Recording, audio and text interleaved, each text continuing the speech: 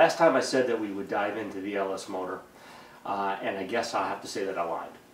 Uh, I put this car together 17, 18 years ago, and uh, the first time, and I cut some corners on a few things, and one of the things I need to get straightened out right now. I was underneath the car, I need to pull the gas tank and uh, do some other things underneath the car, and I noticed that the body mounts are in horrible, horrible shape. Uh, in fact, there's six total, three on each side, and they, uh, oh boy, at least two of them total are totally gone, and I'd say two more are almost gone. They weren't in the best shape 17, 18 years ago, uh, but you know, time, money, I didn't bother replacing them. So believe it or not, that's what we're going to do. I've talked to a few people, looked at a few websites on how to do this with um, the limited space and equipment that I have. I think I can do it. My biggest fear is that when I take these things off, that there's not a lot left to bolt the new ones onto. Uh, that would be the worst case scenario. But we'll deal with that when we come to it. First thing to do is to try to get these things out. Into the, the cage nut that's in there. Uh, those cage nuts are, um, it's like a nut that's in, uh, in a housing that's allowed to, allowed to move around. Uh, so it moves, uh, it's got a little bit of movement so you can get everything lined up on the frame. If those start spinning, when you try to take them off from the bottom, you're basically screwed. So what he suggests is to drill a hole about this big above it so that you can get uh, uh, like lubricant, like liquid wrench and stuff in there, maybe some heat to try to loosen those things up.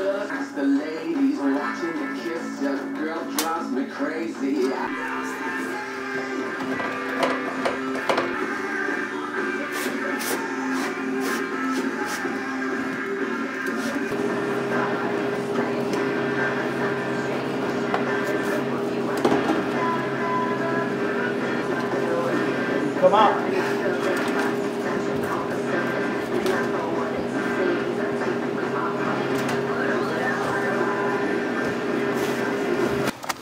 Here is the location of where those body mounts are. It's under here. And uh, I don't know how much I can tell everybody, don't cut corners. It's just going to come back and bite you in the butt. Um, that's what I did here. I knew it was rusty when I put this car together 17 years ago.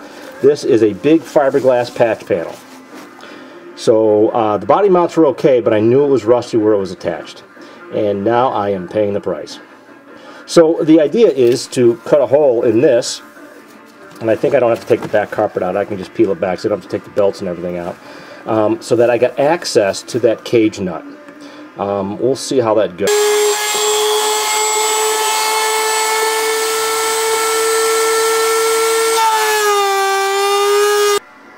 So what we got here is I tried to clean it up pretty good around um, that body mount bolt.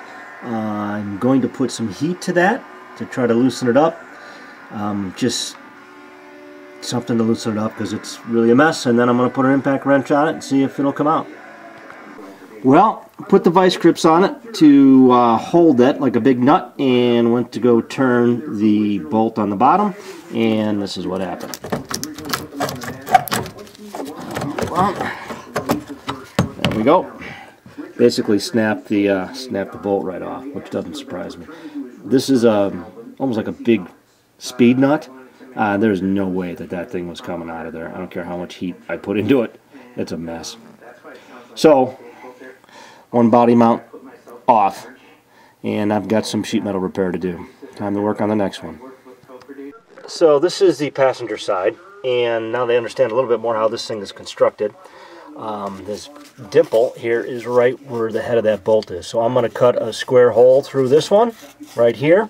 Uh, this one was not rusted out and I didn't cheat and take a shortcut and just put a fiberglass patch panel over the top of it. Um, so hopefully this one's a little more solid inside. Alright, done cutting with my Dremel tool. Let's uh, get this out of here and see what we got underneath. Yikes. Not much better than the other one. Yep, it's a mess too. So I'm understanding a little bit more how this thing is constructed. I want to cut it open. This one has a little bit more left in it. This piece here is the cage, and then this from the other side this is the nut itself.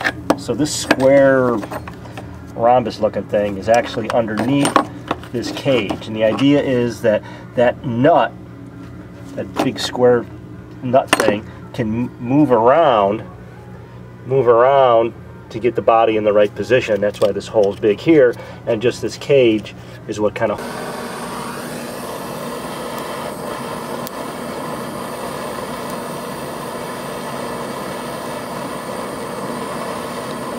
So the passenger side actually came out uh, like a regular bolt.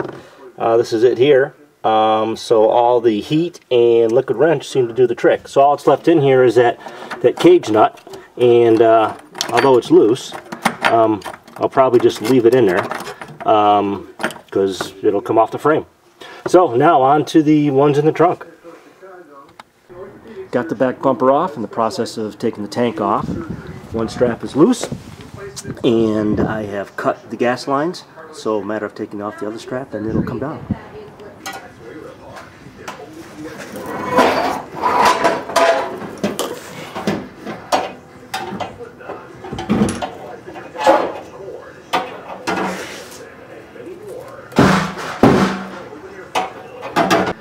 So the tank is off and now we can actually take a good look at these body mounts. Uh, this is the one on the back right here It's not in too bad a shape. Um, hopefully no metal work I have to do there. Uh, these, this is the next one. This is in horrible shape. You can see the rubber here. Um, and on the inside, the rubber isn't even there. It's totally gone. Um, but again, hopefully not going to be too much metal work, structural stuff on this side.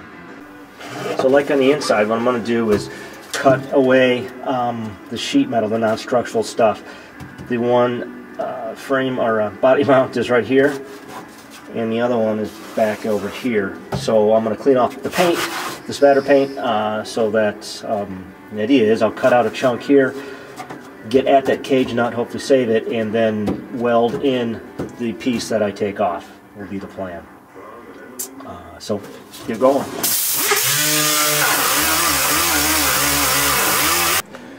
So I got the two uh, the two uh, forward ones cleaned up. Um, this one cleaned up really nice. And this one cleaned up nice, but guess what? Some pretty thin little pieces of metal here. Again, this is just sheet metal. I'm not too worried about that as long as the bottom is good. And then for the ones on the back, kind of see this Sharpie square here. What I did was to try to figure out where that other one was as I drilled a hole basically right next to it here there's a drain hole and this brace piece on the back and I went up and that's this hole right there. Um, right there. So then took some measurements over. I think I'm pretty close. I'll do the same on the other side. Get that cleaned up and we'll cut these pieces out.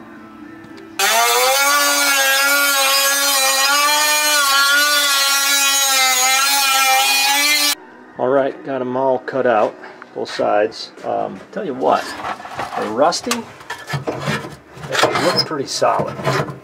Know, this, this stuff here looks solid. Same thing back here. It's rusty, but it looks solid. That one, and then this one too. So next step is to heat these things up and then soak them with some uh, liquid wrench overnight and then hit them with the impact tomorrow so you can get them out.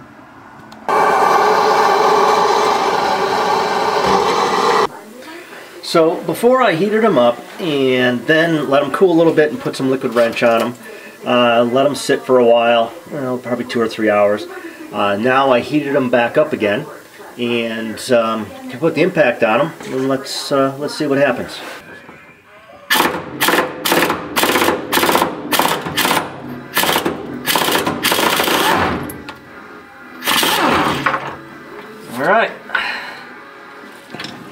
Let's do the other, the other three. Let's see how they come out.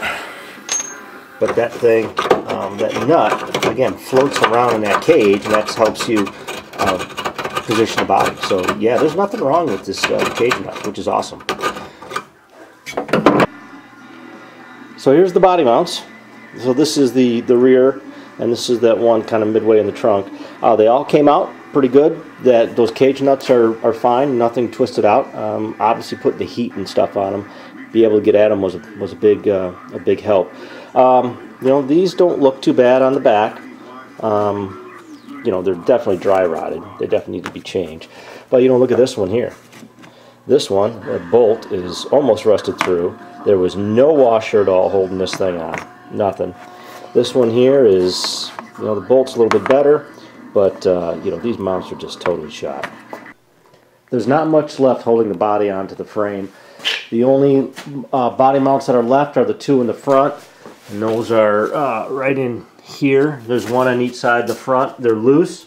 I will leave those on there until we actually go to take the body up off the frame. The other two things that are left are the uh, parking brake cable and then the uh, the gas line that goes from uh, the body where it mounts to the the hard line that goes to the frame.